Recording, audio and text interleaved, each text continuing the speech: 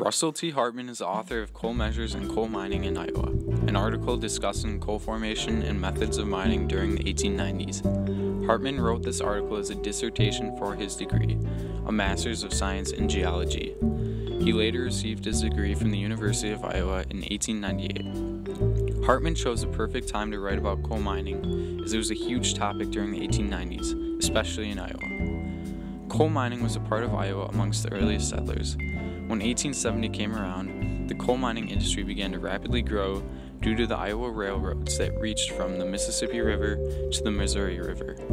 These railroads started leasing land near coal producing areas which extended from southeastern Iowa to central Iowa. The most widely distributed of all coal bearing formations was the St. Louis Formation, as Hartman writes on page 11 of his article.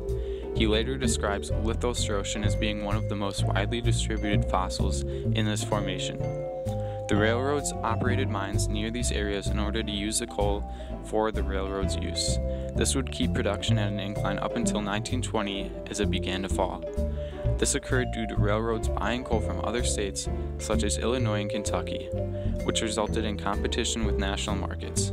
The mines in Iowa additionally began to run out of coal, and as a result, they were not able to keep up with the competition in other states. Also, Iowans started relying on other energy sources such as electricity, natural gas, and fuel oil, which decreased the demand for coal in the state of Iowa. Life at coal camps was not very great.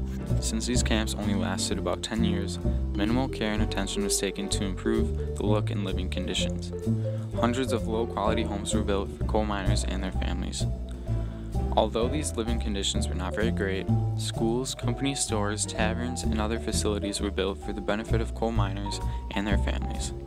By 1920, most of these camps were closed down due to low production. Families then began to move out, leaving the camps and surrounding areas with minimal to no civilization. This was the end of high production coal mining in Iowa.